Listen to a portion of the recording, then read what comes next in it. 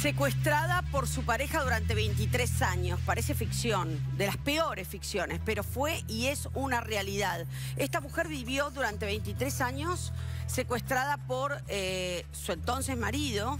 eh, en un altillo, yo había dicho un sótano, es un altillo de la casa, ahí vemos imágenes, pero esto que estamos viendo en cámara son las cartas del papá. El papá, esta es la casa, ahí estaba, ese es el, el cuarto donde ella estaba encerrada, atada a una cama.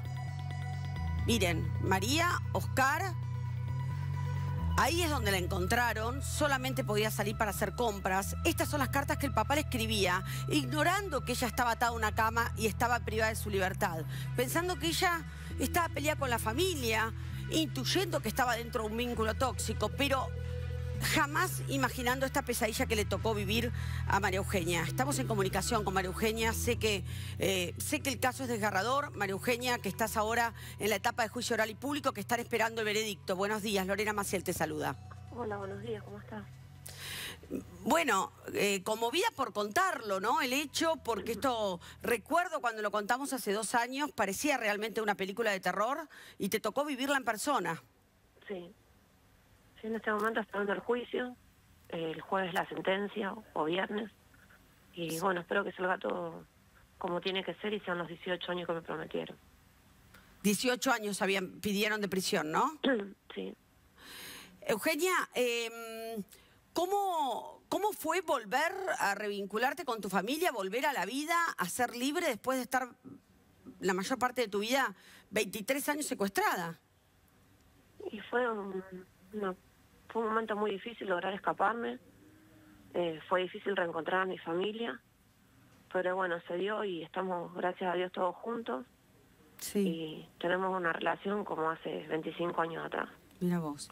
Eugenia, ¿y cómo lograste escapar, no? A ver, si lo que vos nos quieras contar de- de- del cautiverio que tuviste que vivir. ¿Y cómo, ¿Cómo? cómo te lograste liberar? Sí. ¿Cómo me logré liberar? Yo tenía una costumbre que era como una rutina de barrer todos los días la vereda, eh, digamos, en un barrio donde hay muchas hojas, muchos árboles muy grandes, Sí. y bueno, era mayo. Entonces a las 6 de la mañana me despierta para que barra las hojas, él tenía autos en la puerta porque era compriventa, Sí. y bueno, él pensaba siempre que los municipales le podían hacer la multa por estado de abandono, así que ese día me despierta, eh, salimos a barrer, Sí. Como todos los días, bueno, junto todas las hojas, barría mi vereda, el cordón, eh, la vereda de dos vecinas, un terreno que él tiene. Prácticamente barría media cuadra para que las hojas no le vuelen a él. Claro. Eh, bueno, entramos, él decide que nos acostamos a dormir y tipo diez y media se me vuelve a despertar. Me dice que había hojas, que salgamos de vuelta. Bueno, salimos y, y en un momento me dice, boluda, entra que me cago. Estaba descompuesto. Sí. Bueno, entro yo adelante y cuando llego a la puerta del medio, espero que él entre y me doy cuenta que de la puerta primera no pone los candados, cosa que hacía habitualmente. Claro. Y una- descompuesto en el baño y, y se olvidó de poner una traba en la puerta. Sí, los candados, dos candados que ponía. Bueno, yo me di cuenta que ese era mi momento, ¿no? Y bueno, él tenía una cosa que era que para ir al baño yo me tenía que sentar en el patio, él iba al baño dentro de la casa Ajá. y no se podía entrar, ponía el televisor o la radio. Claro. Bueno, yo estaba con el corazón en la boca y pensaba, me voy, y tenía muchísimo miedo de que él saliera justo que yo me estaba yendo, ¿no? En un momento siento desde el patio que abre la lluvia del baño. Sí. Y bueno, ahí pensé, si se va a bañar como una persona que se rapa y se afeita en la cabeza, eh, digo, va a tardar como media hora. Bueno, Claro. así que me paré contra el baño y en un momento escucho que golpea la maquinita de afeitar como contra la pileta de lavarse las manos. Claro, claro. Y dije, bueno, era ahora nunca. Bueno, así que entré a la casa muy despacio, me llevé una- un monederito con 640 pesos de la máquina de coser la carta de mi papá, que es la que está mostrando ustedes. Sí, la carta de tu papá. ¿Él te la dio esa carta? No, él tenía la costumbre, yo me enteré ahora que él pasaba y cada tanto tiraba una carta y nunca llegaron a mis manos. Yo esa Ah, carta la encontré como 15 años después, mira vos. 15 Eh, años. 15 años. María Eugenia, qué tremendo. Y bueno, y ahí saliste corriendo, te tomaste un taxi, ¿qué Y hiciste? ahí salí corriendo hasta un bulevar que es media cuadra. Sí, Tenía tanto miedo que me agaché atrás de un bolquete de estos de basura, porque mi sensación era que algún vecino me podía ver afuera y avisarle que me había escapado. claro. bueno, yo tengo un miedo irracional, ¿no? Hoy en día lo, me doy cuenta de eso. Y bueno, pude tomar un taxi, ir hasta una estación de servicio Sí. y pedir ayuda. Y ahí te fuiste directo a una comisaría. No, no. Eh, traté en estación de servicio de localizar a mi mamá, Ajá. a mi hermana, a familia, pero nadie me atendía, no estaban viviendo en la ciudad ya. Claro, vos no Entonces empecé a sabías buscar- nada, habías perdido contacto No, con todos. Había perdido contacto con mi familia. Así que empecé a recordar nombres de, de vecinos, apellidos, Claro. y empecé con la guía de teléfono a llamar, pero nadie me daba información. Me decían que a mi mamá hace un tiempo que no la veían, que ellos no tenían ningún celular donde llamar. Bueno, así que con un teléfono que me cargaron en el surtidor y un Facebook trucho que tenía ese teléfono, Sí. el cual él publicaba cosas, empecé a mandarle mensajes a, a mi hermana, a mi hijo, a mi mamá, a una amiga, a una prima. Y bueno, nadie me contestaba. Ay, qué desesperación. Eh, en un momento me acuerdo de una tía, prima de mi papá, la llamo. Eh, mi tía entiende la situación que estaba pasando y me dice, tomate un taxi y anda a otra tía. Bueno, yo tenía tanto miedo que le digo, tía, si me encuentra me mata. Y mi tía me dice, Eugenia, si vos me decís que está muerta, dice, con que Proedi en la casa de la tía Fabi, me dice, es lo mismo. Bueno, a mí me dio fuerza eso. Claro. Así que tomé un taxi y llegué a la casa de mi otra tía, donde ya esta tía se había comunicado y me estaban esperando.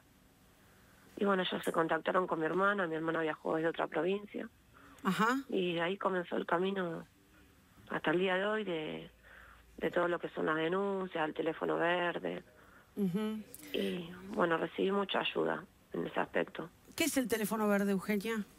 El 144. Ah, perfecto. Sí, acá también tenemos la línea 144 y hemos ido a hacer nota.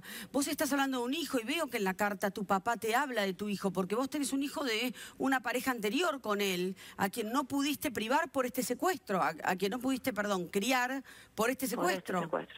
Sí, yo tenía un nene de dos años cuando pasó todo esto Ah, y, y me encontré con mi hijo de 25 en ese momento. Tremendo. Quien no, quien no dudó en venir a buscarme a la casa de mi tía.